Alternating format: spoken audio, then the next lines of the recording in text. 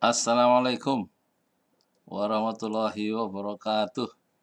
Ini ada pandangan yang menarik ya, yang membalikkan arus di tengah masyarakat pandangan suci Tejo. Dia menyentil penghujat Khalid Basalamah kata Suciwo Tejo orang yang sok bela wayang padahal nggak pernah nonton ditulis di terkini.id hari ini ya hari Sabtu 19 Februari 2022 jam 13.37 WITA waktu Indonesia bagian tengah oleh Fahri Zaman terkini.id Jakarta budaya budayawan budayawan kondang Suci Tejo menyentil keras para penghujat pendakwah kontroversial Ustadz Khalid Basalama yang belakangan ini menuai sorotan publik usai menyinggung kesenian wayang. Sujiwo, Sujiwo Tejo pun kerap eh, lewat cuitannya, cuitannya di Twitter Sabtu 19 Februari 2022 menilai para penghujat Ustadz Khalid Basalama itu hanya sok berkoar-koar membela wayang padahal kata Sujiwo kemungkinan sebagian besar dari para penghujat Khalid Basalama itu sama sekali tidak pernah nonton wayang. Kelihatannya begitu sinden-sindenku ini mungkin lebih happy atau bahagia kalau kalian konkret.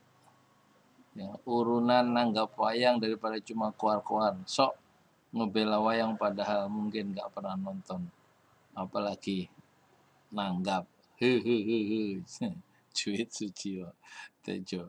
Menurut Suciwo dukungan konkret terhadap kesenian wayang itu seharusnya ditunjukkan masyarakat dengan menonton kesenian khas Jawa tersebut dan bukannya hanya berkuar-kuar itu nggak pernah menonton wayang ya.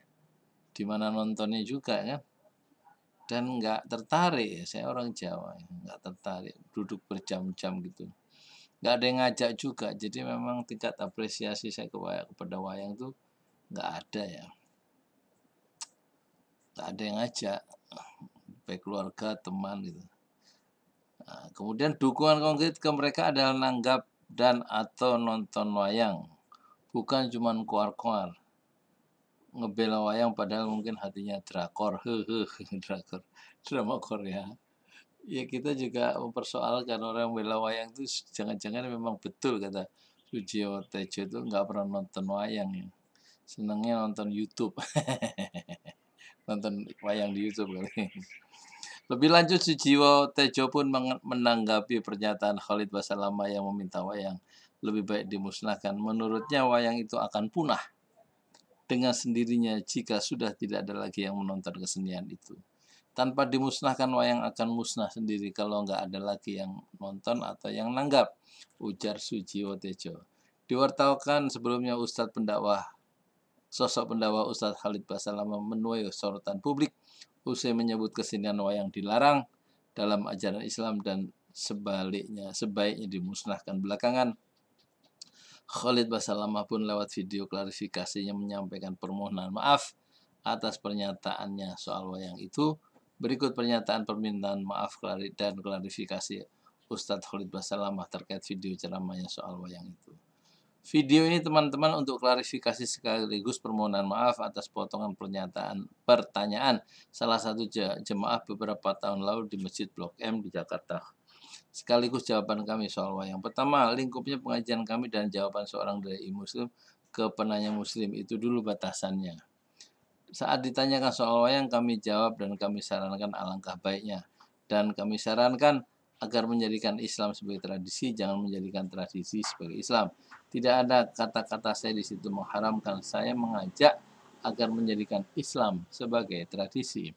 Makna kata-kata ini juga kalau ada tradisi yang sejalan dengan Islam nggak ada masalah. Tapi kalau ada yang bentrok, ada baik yang ini tinggalkan dan ini hanya sebuah saran. Potongan kedua, saat penanya menanyakan bagaimana taubatnya dalang, jawab jadi jawab kami ini mirip dengan sebenarnya lingkupnya kalau ada yang tanyakan bagaimana tobatnya berdagang disebut profesi disebutkan profesi maka sebagai dai muslim maka saya sebagai dai muslim menjawab umumnya kaum muslimin kalau bertobat dan setiap muslim akan merasa bahagia, senang kalau diajak bertobat dan memang jawaban jawab jawabannya taubat nasuha, taubat yang benar, kembali kepada Allah dengan benar.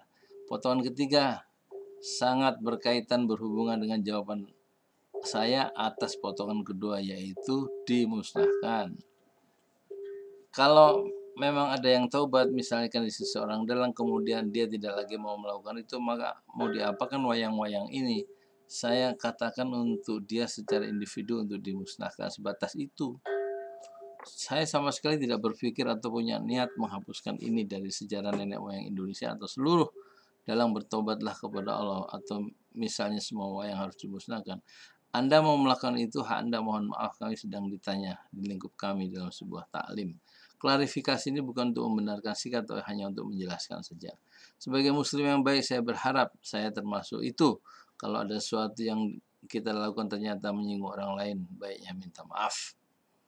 Saya Khalid bersama lama mengucapkan permohonan maaf sebesar-besarnya dari hati nurani kami kepada seluruh pihak tanpa kecuali kepada pihak yang merasa tersinggung terganggu dengan jawaban kami tersebut.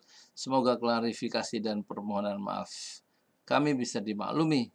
Semoga Allah menyatukan kita di atas persatuan kesatuan di negara Republik Indonesia. Dan saya yakin kita semua sangat mencintai negara kita, apalagi kita sebagai muslim diminta mencintai negara kita, negara Indonesia, mencintai persatuan dan kesatuan dan itu yang menyebabkan pejuang-pejuang kita yang mayoritas memerdekakan Indonesia adalah kaum muslim.